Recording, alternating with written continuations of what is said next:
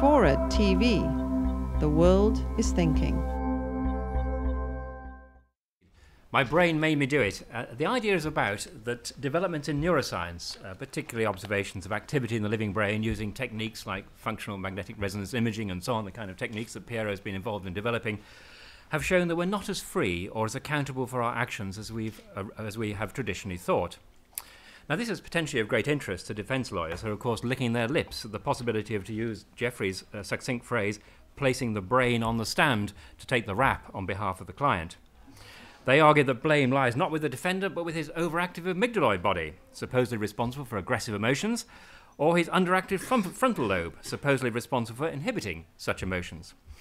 If our brains are in charge and our bad behavior is due to them, our attitude to criminal responsibility, to punishment, and to preventive detention of individuals thought to have criminal tendencies may all have to change. Well, I believe this conclusion is, to put it charitably, premature. Observations of the brain activity in the laboratory can explain very few things about us. If I speak with any authority, and David mentioned this, it's as someone whose research has been primarily in the area of clinical neuroscience. And indeed, I found techniques such as transcranial magnetic stimulation and functional magnetic resonance imaging and so on extremely useful in research. And that's why I'm very aware of their limitations. They certainly do not answer questions about the free will, and in particular about uh, legal questions about the allocation of blame.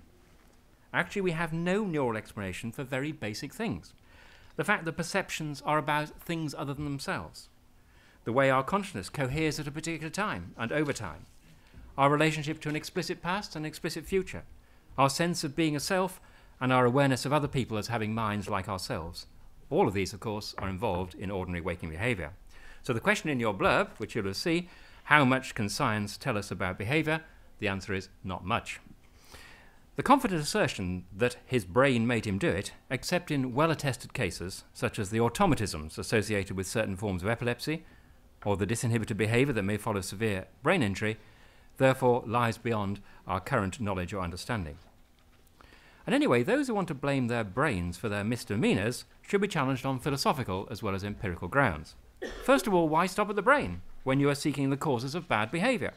Since the brain is a physical object, it is wired into nature at large. My brain made me do it must mean ultimately that the Big Bang made me do it. In other words, neurodeterminism slides quickly into straightforward determinism. Are the brain blamers really wanting to deny anyone's responsibility for anything at all? And I'll come back to that. But interestingly, there's a contradiction built into this plea of neuromitigation of blame. The claim my brain made me do it suggests that I am not my brain, even that my brain is some kind of alien force. If I were my brain, then my brain made me do it would boil down to I made me do it, and this would hardly get me off the hook. and yet, but if I'm not identical with my brain, why should a brain make me do anything? Why should this bit of matter single me out?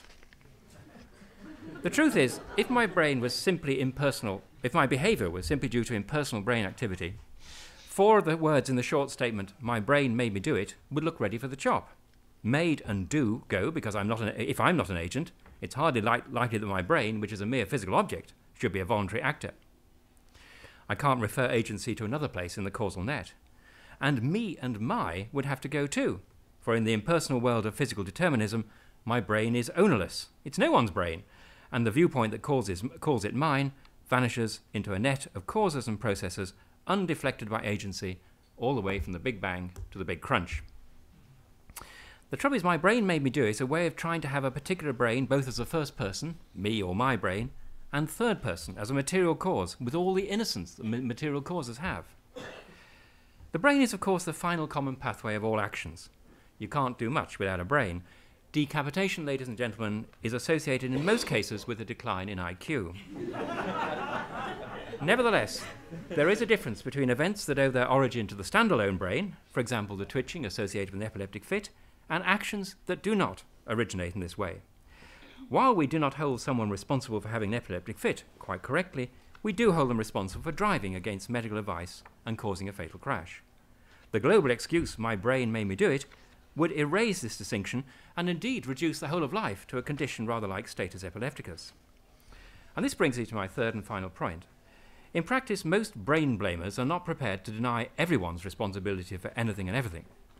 While the brain is blamed for actions that attract, normally attract moral disapproval or legal sanction, people don't normally pass responsibility onto their brains for good actions or for neutral actions such as pouring out a cup of tea or just getting up for a stretch after a long sit down. When asked why he's defending a client, a barrister is unlikely to say, My brain made me do it, Your Honour. And this pick and mix neurodeterminism is grounds for treating a plea of neuromitigation with some caution and a certain amount of cynicism. So we still retain the distinction between ev- events, such as epileptic fits, that can be attributed to brain activity, and those which we attribute to persons, who are more than mere neural activity. Deciding on the boundaries of our responsibility for events in which we, can in which we are implicated cannot be handed over to neuroscientists studying the activity of the brain in the laboratory.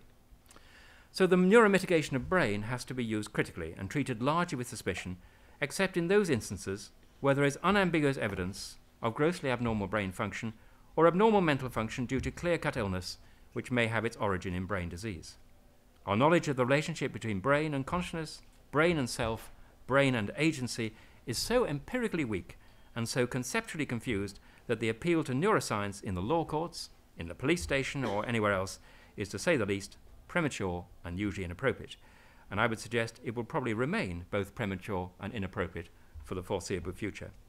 Neurolaw is just another branch of neuromythology. Thank you.